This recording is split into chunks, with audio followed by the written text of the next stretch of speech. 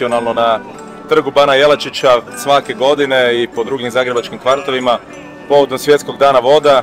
Voda je život, kao što znate Zagreb leži na vodonosnicima i kvaliteta vode u Zagrebu je jedna od najboljih u Europi i to trebamo sačuvati. I sa zadnjim urušavanjem dijela Jakuševca, taj dio smeća, posebno organskog, je prešao na sloj koji nije zaštićen, dakle prelio se i mi apeliramo da se to što prije sanira jer ključno je da se sačuva kvaliteta vode u gradu Zagrebu.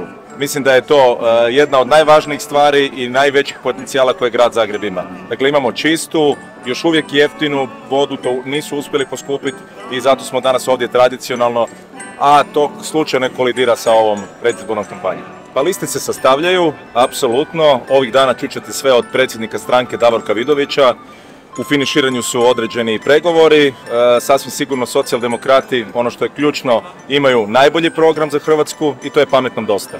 Dakle, želimo vratiti dostojanstvo pogotovo umirovljenicima, dići ćemo odmah kad dođemo na, u poziciju odlučivanja 30% mirovine u Hrvatskoj, zato jer je dosadašnji udio mirovina u BDP-u 9,5%, a u modernim europskim zemljama je on čak negdje oko 12, 13, čak i nerijetko i 15%. Prema tome sa povećanjem udjela e, postotka za izdvajanje za mirovine u BDP-u na 12,5%, sve mirovine u Hrvatskoj se mogu dići 30%, ali posebno ćemo se truditi voditi računa o onim najmanjim mirovinama. Dakle, najmanje mirovine rast će otprilike za 200 eura.